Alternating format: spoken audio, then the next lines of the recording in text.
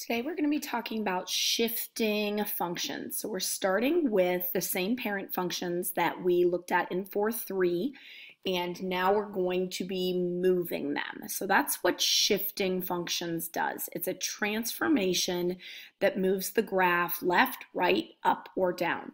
So if we're moving left or right, this would be a horizontal shift. And if we're moving up or down, those are our vertical shifts. So this does not change the shape of the graph. It only changes the location. So we are moving it. We are not changing its shape at all. So for most of our parent functions, we use the H and the K within our um, kind of general form. So remember, if you look back at 4-3, we have our parent graphs. So these are g of x's. The parent graphs are the f of x's. So linear is just f of x equals x, f of x equals absolute value of x, f of x equals x squared, and f of x equals 1 over x. Remember that parent functions are the most basic of that particular family. So these g of x's are showing where shifting happens. And it's really important to know that for the absolute value, the quadratic, and the reciprocals, if there's a negative in front of the H, that means that we're going to shift to the right, however many spaces that H value is. So if it's X minus 2, that means two spaces to the right. Positive H, so if it's X plus 5 or whatever, means to shift left.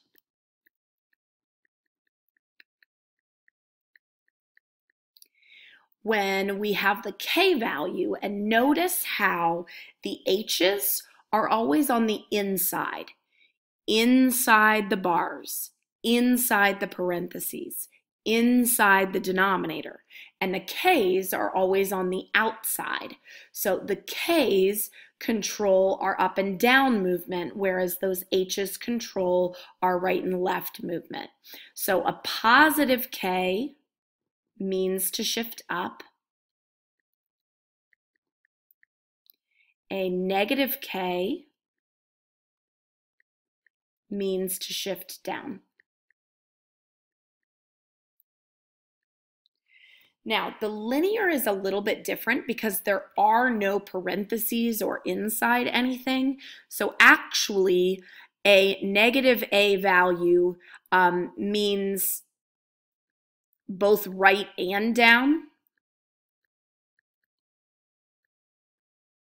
You make two marks, and a positive A would means both left and up. So I'm going to illustrate that for you on Desmos here real quick, just so you see what I mean. So if I have, let's say, x minus, oops, I need to do y equals, y equals x minus 3. See how this is both simultaneously down 3 because remember that the parent graph linear goes through 0, 0. So it's simultaneously both down 3 units and right 3 units. So it stands for both. Whereas if I have one that is a plus, you can see that it's both left and up. Left 5, and up five.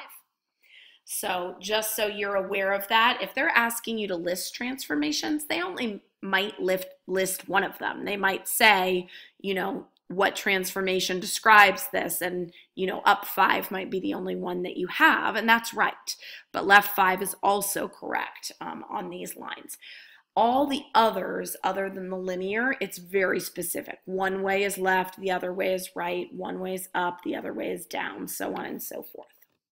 All right, so let's look at some examples. Um, in example one, we have two different graphs. It says the graphs below have the same shape. If the red graph is f of x equals x squared, so remember that this is our parent. So the red graph is the parent graph. What is the equation of the blue graph? So what we need to do is we need to use this because we match with the parent function. So we know we need to write a quadratic here. And we need to figure out how it's been shifted because they do have the same shape. So my red graph starts at 0, 0. My blue graph starts here. So I need to count and see how many units that is. So I went one, two, three, four units left. and one, two, three units up. So this information is what's going to allow me to write my answer. So g of x equals, and then it's x. Remember that left is going to be a plus h. It's left how many? It's left 4. So x plus 4 squared and then three units up, up we wrote is a positive k. So positive 3. This would be our answer. Now again, you can always, if you're unsure with the graphs, work backward and try to, you know, type things into Desmos. So if you think you've got the answer and you just want to check it, you most certainly can. So if I go here and I type y equals, oops, not minus, and I type exactly what I had there.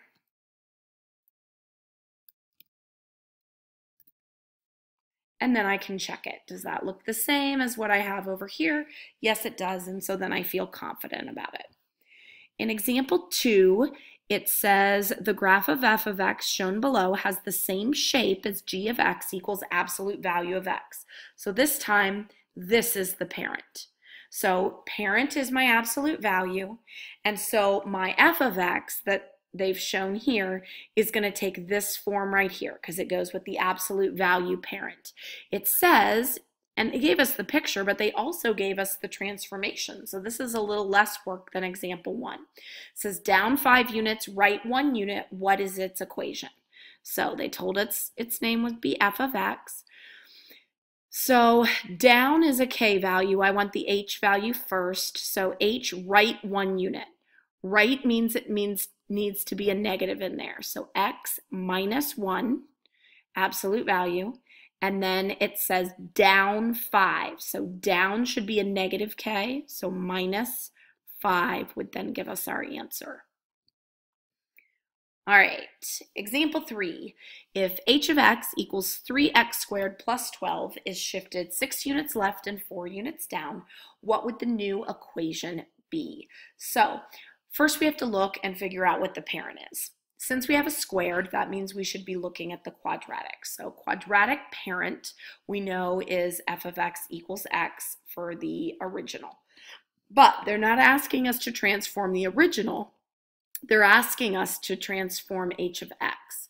So if I need to go left, that means it needs to go in parentheses. Now the tricky thing about this one is that 3 in front. We want to leave that 3 in front. So 3, and then we have our squared, and we're going to have our h in here. So x says 6 units left. So again, if you've got your notes in front of you, left means a positive h. So plus 6. And then 4 units down. Now we have to be careful here. We already have a plus 12 as our constant. So if I'm going to use 4 units down, that means 4 units less than the plus 12. So 12 minus 4 would give me a plus 8. And that would be my final answer for this one. So don't let those numbers in front trick you. You just put them, you keep them in front and you put the left right value in the parentheses, work with the constant that was given and your shift up or down to get your new constant. And that will give us our answer. If g of x equals 1 over x is shifted 4 units right and 7 units up, what would its new equation be? So this guy is our reciprocal. So right up here we can see the format. We see that the h value goes in the denominator with the x and the k goes outside the fraction entirely. So right means it's going to be a minus. So 4 units right means minus 4. Seven units up, up means positive, and again, it should be away from the fraction. So this would be my equation for that one. All right, last one. Suppose g of x equals f of x minus 5 plus 4. What transformations would compare the graph of g of x with the graph of f of x? So f of x is what we started with, and it says g of x is f of x minus 5 plus 4. So keep in mind, this is inside the function. It's inside parentheses. So this is my h value, and this guy is my k value. So I would say that we would shift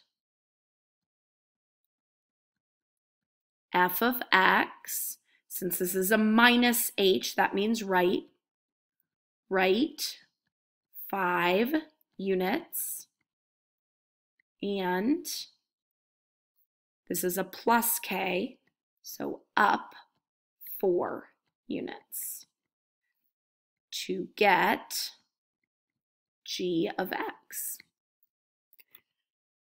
All right, so hopefully um, those examples make sense. Again, here's really the bulk of what you need, knowing um, what the negatives and positives, the H's and the K's do so that you can match the location with the transformation. And that's it for this lesson.